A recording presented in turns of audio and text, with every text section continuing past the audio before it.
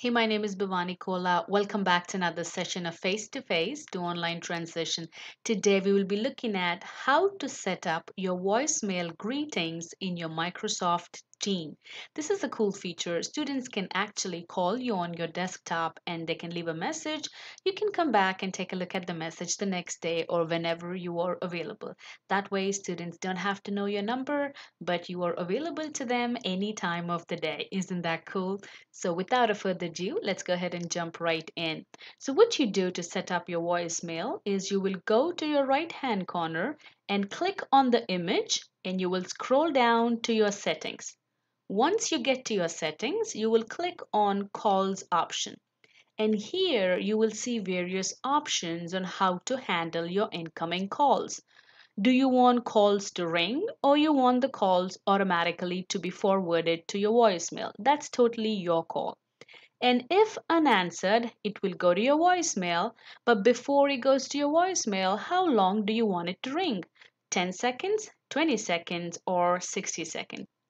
So just for today, I'm going to go ahead and pick 30 seconds so it's not too soon and it's not too long. And once you do that, you can go ahead and actually set up your ringtone. How do you want your ringtone to be? Do you want it to be a default? Do you want it to bounce? I'm going to go ahead and play it. So that's how it's going to sound. This is your bop. I'm going to go ahead and play it.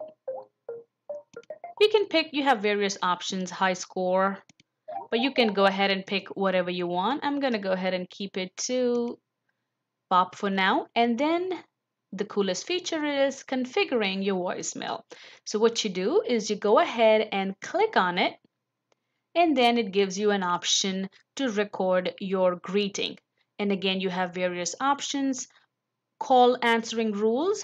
How do you want to do that? Do you want the callers to record a message or let the callers record a message or be transferred to someone else? If you are an director or you're out of office and you want somebody else to take your calls, you can go ahead and do that as well.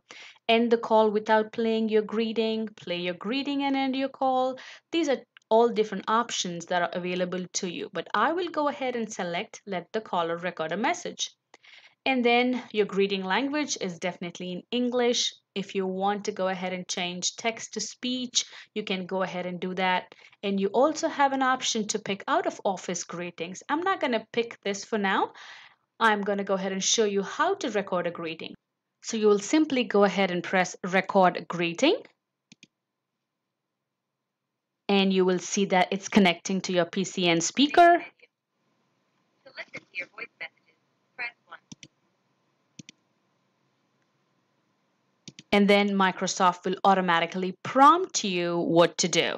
It's going to go ahead and say, let me go ahead and show you the keypad. It's going to go ahead and say press 1 if you want to record your greeting, press 2 to listen, just like how you set up your regular cell phone voicemail. And once you are happy with your greeting, you will simply go ahead and press hang up and now you have your voicemail ready to go. So when it every time a caller calls you and you're not available they will directly hear your voice mail and your private greetings that you have set up and if you want to check your voicemail, you will go to your calls section in your Me space and simply click on calls. And here you have your tab for your voicemail. As of now, I don't have any voicemails, but if you do, you will simply see an option to play it and delete it right here.